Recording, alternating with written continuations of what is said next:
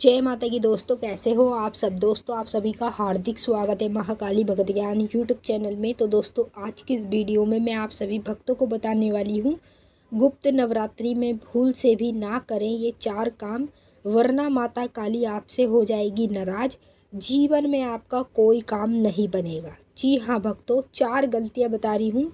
जैसे कि आप सभी को पता है, गुप्त नवरात्रे चल रहे हैं और इसी गुप्त नवरात्रों के चलते दौरान यदि आप ये चार गलतियाँ करते हैं तो आपसे माँ काली हमेशा के लिए हो जाएगी नाराज़।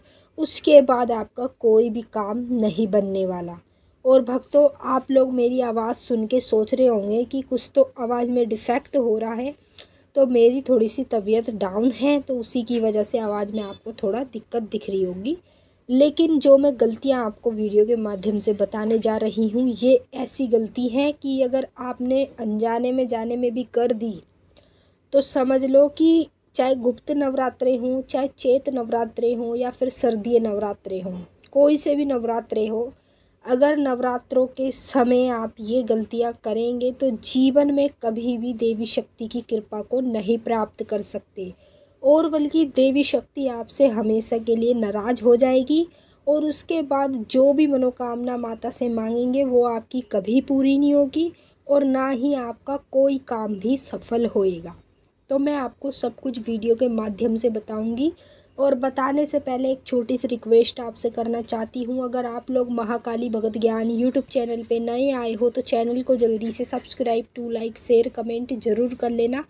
और बेल आइकन को ऑल पे सेट कर लेना ताकि हमारी जो भी न्यू वीडियो आए, उसका नोटिफिकेशन सबसे पहले आप सभी भक्तों के पास पहुँचे। तो देखिए भक्तों, गुप्त नवरात्रे चल रहे हैं और नवरात्रों की ढेर सारी शुभकामनाएँ आप सभी भक्तों को मेरी तरफ़ से। तो मैं चार गलतियाँ बता रही हूँ, जो आपको कभी भी भूल से नहीं करनी है।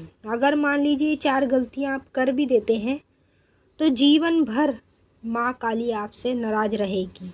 और ना ही आपका कोई काम सफल होगा। फिर चाहे आप कितनी भी पूजा पाठ कर लेना, चाहे फिर कितने भी मंत्र जाप कर लेना। तो पहली गलती बता रही, ध्यान से सुन लो, बारीकी से समझ लो, भूल से भी आपको कभी नहीं करनी नवरात्रों के समय। पहली गलती ये है, चाहे देखिए नवरात्रे के व्रत करो या मत करो, लेकिन अगर गुप्त नवरात्रों में ये गलती करोगे तो देवी आपसे नाराज़ हो जाएगी। चाहे आप फिर किसी भी देवी के भक्त हों, काली माँ के हों, दुर्गा माँ के हों, किसी भी देवी के भक्त हो। पहली गलती ये है कि नवरात्रों के दौरान आप लोगों को, माँ काली को सात्विक भोग लगाना है। मैंने काफ़ी सारे भक्तों को देखा है कि नवरात्रों के दौरान माता को सात्विक भोग नहीं लगाते हैं और तामसिक भोग लगाते थे, जैसे कि शराब भी चढ़ा देते हैं, ठीक है, तामसिक भोग में। और माता को बकरे की कलेजी भी चढ़ा देते हैं। और माता को मुर्गी की भेंट भी चढ़ा देते हैं। मैंने कई ऐसे लोग देखे हैं अपनी आँखों के सामने। तो इसीलिए मैं आपको यही सतर्क करना चाहूँगी कि आप माता को नवरात्रों के समय सात्विक भोग ही लगाएँ। नींबू, जायफल, लौंग, बतासे, मीठा पान, मिठाई, पेड़े, ये सब चीज़ों का भोग लगाएँ। बाकी जो तामसिक भोग होता है वो बिल्कुल भी भूल से ना लगाएँ। ठीक है, पहली गलती ये आपको कभी जीवन में नहीं करनी है।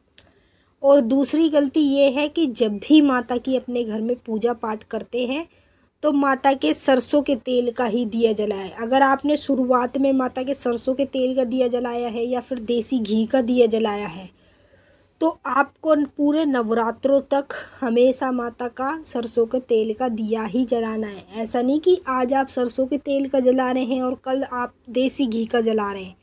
तो ये गलती करोगे तो माता आपसे नाराज़ हो जाएगी और ये गलती आपको जीवन में कभी नहीं करनी है नवरात्रों के दौरान, ठीक है?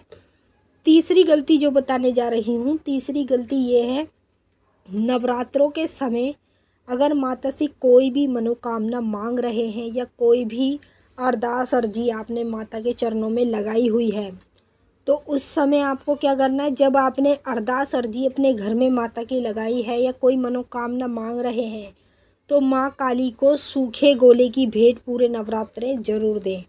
सूखे गोले की भेंट दोगे तो ही मनोकामना, अर्जी, अरदास पूरी होगी। सूखे गोले की भेंट नहीं दोगे तो माता आपकी कोई मनोकामना नहीं पूरी करने वाली और उसी के साथ साथ माता आपसे जीवन भर के लिए नाराज़ हो जाएगी।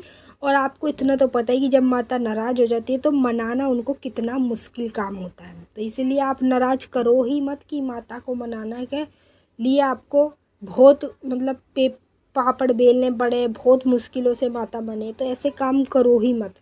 और चौथी गलती ये है कि नवरात्रों के दौरान अगर आप अपने घर में पूजा पाठ कर रहे हैं तो आपको घर में ही पूजा पाठ करनी है। बाहर नहीं करनी, पीपल के पेड़ पे पूजा नहीं करनी है, ना ही चौराहे के आसपास जाना है आपको, और ना ही आप लोगों को किसी भी नदी किनारे के आसपास बैठना है। ठीक है, नवरात्रों के दौरान इस जगहों पे जाना बिल्कुल मना होता है। क्यों मना होता है?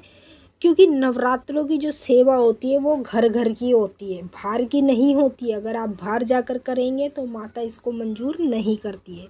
तो भक्तों, अगर ये चार गलती जीवन में कभी भी करते हो तो माँ काली आपसे हमेशा के लिए नाराज़ हो जाएगी, फिर आप उसके बाद ऐसे ही रह जाएँगे। तो मैंने आपको अच्छे से समझा दिया है। अब हम आपसे फिर मिलते हैं नेक्स्ट वीडियो में। तब तक के लिए